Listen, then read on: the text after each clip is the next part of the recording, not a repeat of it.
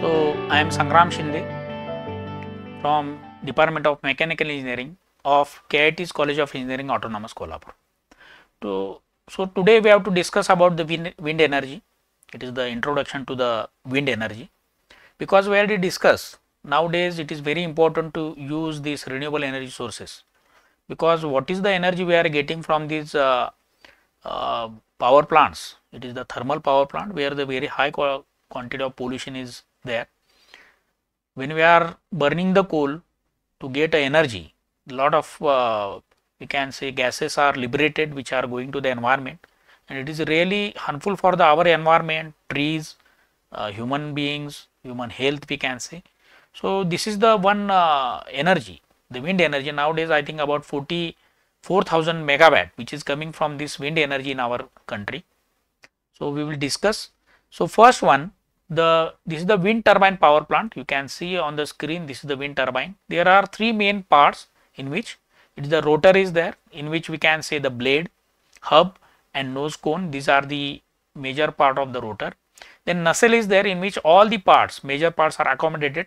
It is the rotor shaft main bearing control panel sensors gearbox rotor brake generator yaw assembly. Then uh, girder is also there nacelle cover is there. And third part it is the tower so if you are taken 1500 kilowatt wind turbine uh, generator three blade pitch regulated wind turbine with rated power of 1500 kilowatt or 1.5 megawatt. About 82 meter diameter rotor is required to get this because uh, we already seen what is the power? It is one half rho a v cube. So here a a means area. So what is the area? If you are taken 82 meter diameter area will be pi by 4 d square. It is the 82 meter. So glass fiber reinforced plastic rotor we are using. This is the material which we are using for the blades with a aerodynamically optimized. Okay so aerodynamically shaped blades we are using in the wind turbine high strength to the to the weight ratio because uh, weight should be less it is the requirement and also strength should be high because continuously it will be sustaining that particular high pressure air. Then good fatigue properties and high elasticity integrated lightning protection it is very important in the rainy season. Lightning uh, is the major problem to this particular wind turbine generator. Blades are mounted on the slew bearing which is turn in mounted on spherical graphite iron hub. Rotor is mounted on the rotor shaft with the through holes for a pitch wiring.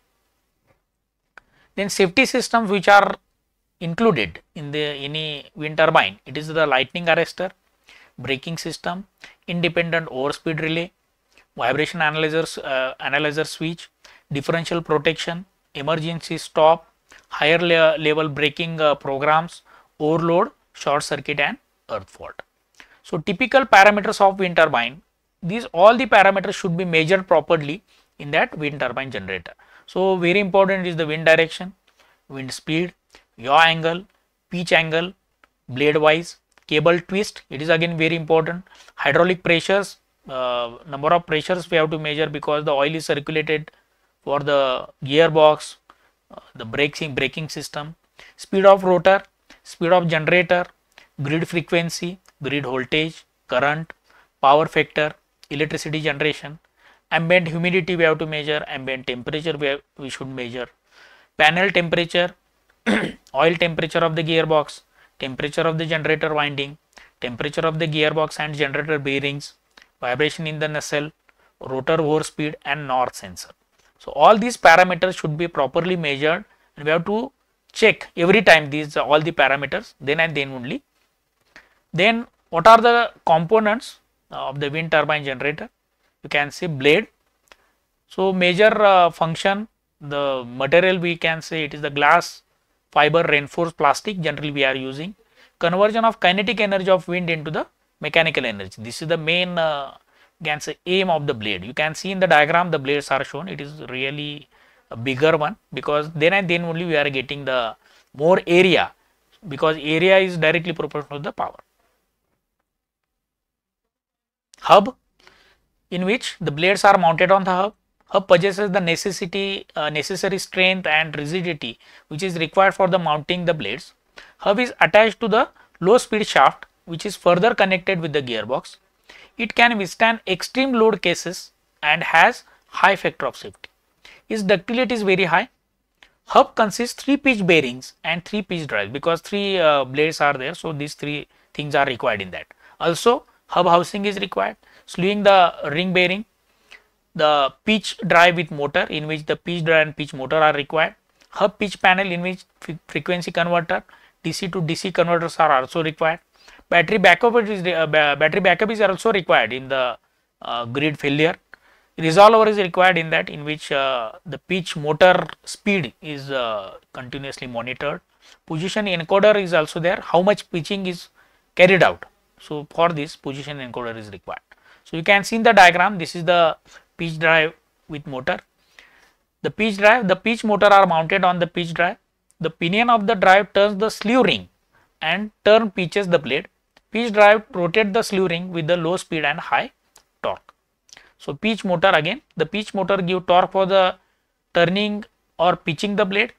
The resolver is mounted on the shaft of the motor to measure the speed of the motor or speed of the pitching. Three pitch motors can individually pitch the blades. The blade can be positioned with an accuracy of 0.1 degree. The resolver give feedback to the motor speed to the controller to ensure the simultaneous pitching of the, all the blades. Nacelle where it is seen, it is the main part in which all the parts are accommodated in which the rotor shaft, main bearing, top control panel in which the speed monitor, battery charger card, power supply card is available. Then sensors, vibration sensor, uh, vibration analyzer is required, rotor speed sensor, incremental encoder uh, is also there in which the generator speed sensors are available.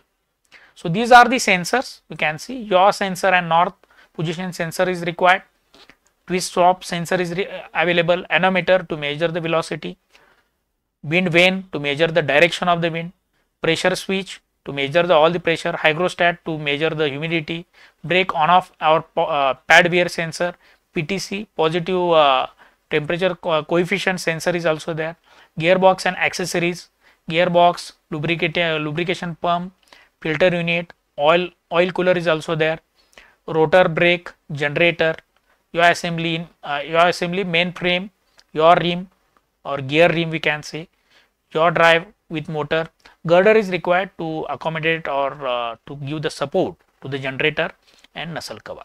So, all these are these uh, we can say sensors which are available in any wind turbine. Okay. So, uh, you can see here the rotor brakes are also available because uh, continuously generally rotor brakes are provided on the high speed shaft to give the brakes uh, to stop this particular uh, wind turbine. Generator generally doubly feed generators we are using in that. So, even if uh, the grid uh, working uh, on the low frequency again the doubly feed generators we are using in that which will be uh, managed even if the frequency of the uh, grid is very less okay so this is the wind turbine or uh, we can say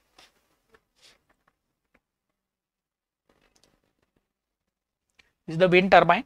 Uh, the so i think we stop here now